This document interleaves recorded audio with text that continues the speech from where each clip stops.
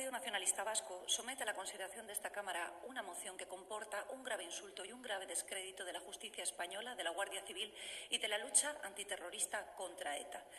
Así que, señor Aitor Esteban, desde luego hoy nos va a escuchar. El 7 de enero de 2012, el diario El Correo publicaba una entrevista con quien fuera uno de los eurodiputados de Ribatasuna, el señor Chema Montero, que entre otros extremos declaraba, y cito literalmente, la Guardia Civil ha sido el instrumento más efectivo en la lucha contra ETA.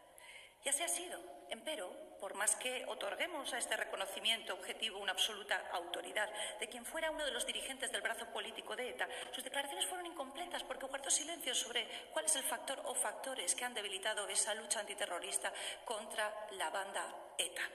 Desde el punto de vista político-estratégico, el PNV ha sido el gran hándicap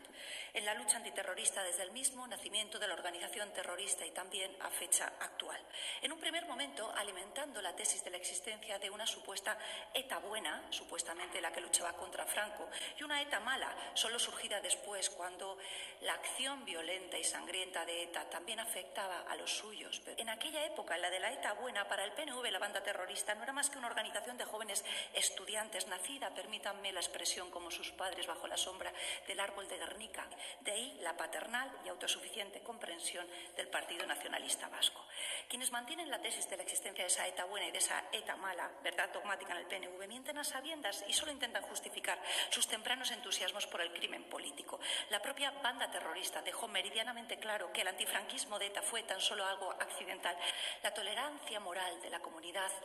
nacionalista vasca hacia ETA ha sido directamente proporcional a la intolerancia mostrada con las fuerzas de seguridad y en especial con la Guardia Civil